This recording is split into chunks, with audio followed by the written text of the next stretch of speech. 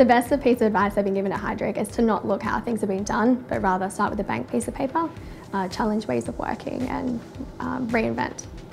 To be here now. Back yourself. Just don't hold yourself back, just go guns blazing. Don't be afraid to challenge the status quo. Don't underestimate the power of the right question. I would say just ask.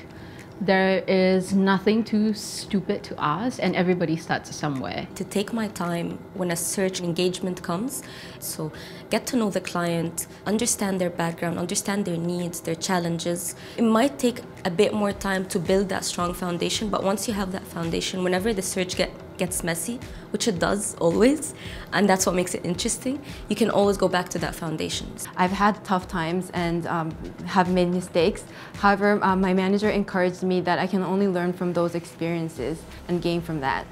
To gain trust from people and in order to do this, you have to um, keep the promise with the colleagues and clients. Always benchmark yourself against the job responsibility of the next level focusing on growing and expanding my network globally within the firm.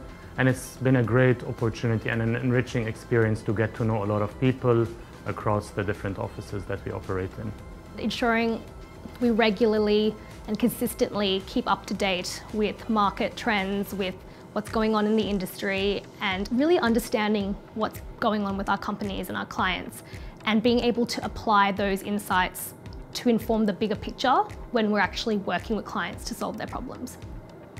Different things are important to different people in any situation. Your success will come from how effectively you navigate all those relationships to a common finish line. Aiming high. I'm not just aiming to be a professional consultant.